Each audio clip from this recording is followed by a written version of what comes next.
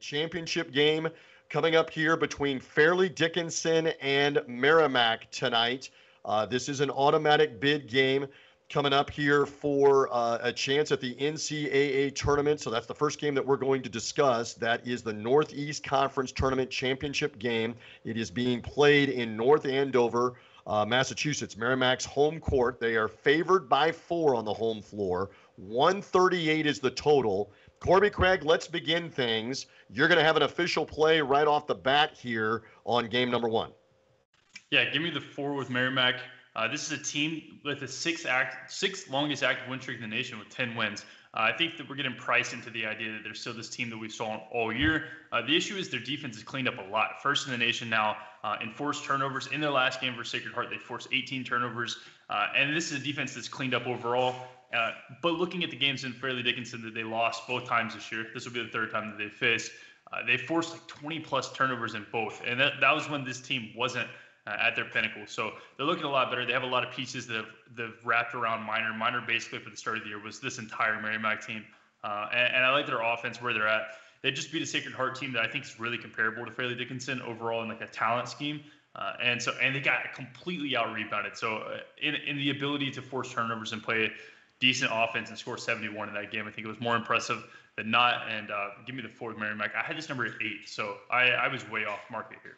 And interesting, and thank you to the viewer that's watching us. I think it's Sick Vic there that says, "Hey, uh, Fairleigh Dickinson has already qualified uh, to go to the tournament for making the title game here because Merrimack is not eligible for the NCAA tournament. So this is just to win the conference tournament championship and hang a banner. But Merrimack is not eligible for the NCAA tournament. So thank you for the clarification. Uh, Matty Cox, thought here on this game, even if not an official play to start us off.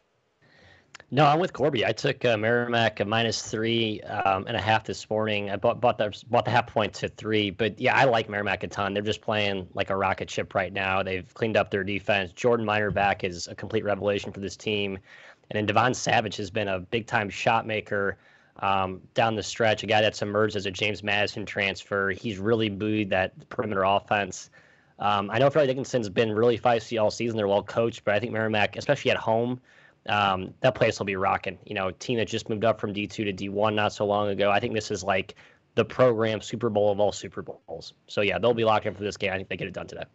All right, so let's lock Corbie in on game number one, and that is going to be again a matchup between Fairleigh Dickinson, who's already in the NCAA tournament, playing in the conference tournament title game with Merrimack that is playing for pride and to hang a banner to win the conference tournament championship, even if they can't go to the NCAA tournament. Corbie says lay the points with Merrimack in this matchup at 7 Eastern Time uh, tonight. All right, let's continue here on the program. And again, thank you for finding us. Hit that like button. Make sure that you're subscribed and uh, and you're with us every day, 11 a.m. Eastern time on the program. Let me share with the audience for the first of a couple of times. This will be the first time that I miss a show tomorrow because of travel. Could not make it work to be able to get here for the live show. So my streak is going to end going back to like November the 1st on having done every show on the BetUS College Basketball Show. Guys, you'll be in great hands tomorrow on the program with Gary Seegers, who's a fantastic host on BetUS with the college football coverage,